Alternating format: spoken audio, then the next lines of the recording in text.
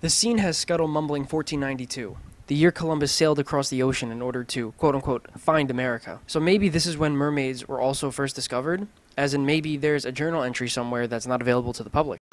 Whoa, what a swim! He makes a statement, oh, what a swim, as if implying mermaids can swim as fast in water as humans can probably run on land, maybe even faster. I think Scuttle dropping the anchor is a metaphor for being based or grounded, meaning what he is about to say is completely true, and he's being 100% honest. It's a dingle.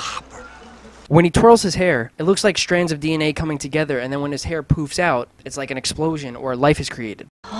Now, the Snarfblat dates back to prehistorical times. Then he calls the pipe a snarfblat, or an instrument that can cr- make sound. A trumpet, maybe? He says it goes back to prehistoric times. How prehistoric? Ancient times? Note, the fish falls out, referring to the age of Pisces.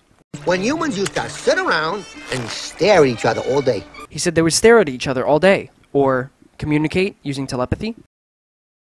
So, they invented this Snarfblat to make fine music. When he blows into the pipe, or the trumpet, a plant grows. Could some type of sound enhance plant growth? Some type of frequency? I believe it's also a biblical reference to God speaking in the Bible, in Genesis when he created the world. Maybe you can make a little planter out of it. The scene concludes with saying that, well, we could just use this thing as a planter, because we don't actually know what some ancient ruins or items are actually used for. Then, before the scene finally ends, Ariel departs, and you see that Scuttle is on a stranded rock geographically, so he is like the Oracle geographically too. Ariel has to go out of her way for knowledge.